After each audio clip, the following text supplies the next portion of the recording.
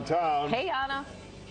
Good morning. I am checking out the WNDR Museum, and I love what they've done with this program they have with um, artists of color because they've given them the opportunity to improve their craft. And when I come in here, I immediately get transported to La Sala, which means the living room, and this is the artist with us this morning. Good morning. Good morning, good morning. All right, so tell me a little bit about what you wanted to capture on your um, installation. So the center is the sala, right? Mm -hmm Started off home as an artist learning at. That's home. why, look, Mary, this you can find right now in any good sala. Yes, yes. Uh-huh. So that's where my art career started at home. And then with the portraits, we wanted to jump into Latino neighborhoods, um, Little Village, Back of the Yards, Humboldt Park, and capture the Latinos entrepreneurs in Chicago Mm-hmm. that have their own businesses and really highlight them and then add my uh, artistic touch with the calligraphy to kind of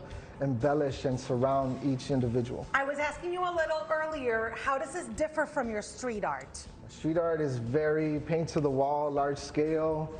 Um, so this is a little bit more refined now, where we're taking portraits and we're printing them on this scale and give it a, a little bit of a, a different touch, where you might find images of Latinos or their family members I at love home. it. This is in the carniceria at the butcher shop in the in the back where people get all their meats.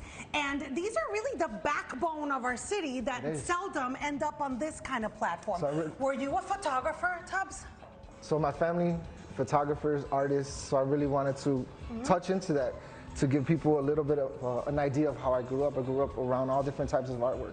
How great is this program that you're participating in? Um, the Creative Colors. Creative Color. Creatives of Colors here at the WNDR Museum is amazing. I'm one of four artists that's going to have uh, installations here, so I'm just really fortunate, and I wanted to highlight our Latino communities here. I love it. I'm very proud of you. Thank I you. lo- plus, he has Sábado Gigante playing in here, and it was kind of triggering, Tubs. Thank you so much. Guys, that's around town this morning. Come check out the WNDR Museum here in Chicago. We're going to send it back to you.